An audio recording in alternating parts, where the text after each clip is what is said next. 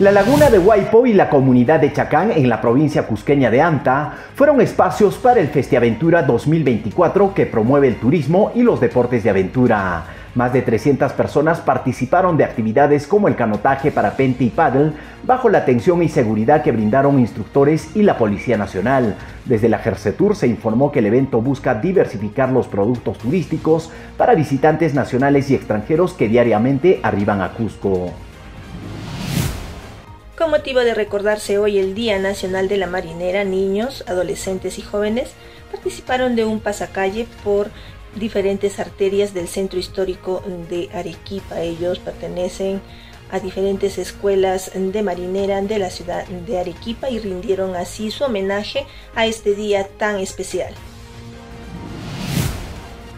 La vicegobernadora regional de la Libertad, Joana Cabrera, realizó una inspección en los hospitales Belén Regional La Noria y el Instituto Regional de Enfermedades Neoplásicas.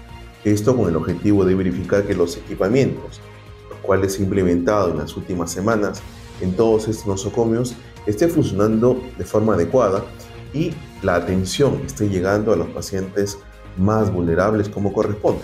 Asimismo, indicó que la inversión que hará esta actual gestión del gobierno regional se ha elevado a 180 millones de soles.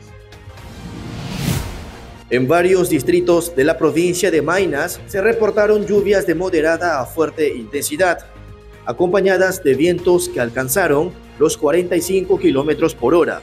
Algunas zonas quedaron afectadas tras el desprendimiento de techos de calaminas. Este incidente climático se registró el último fin de semana.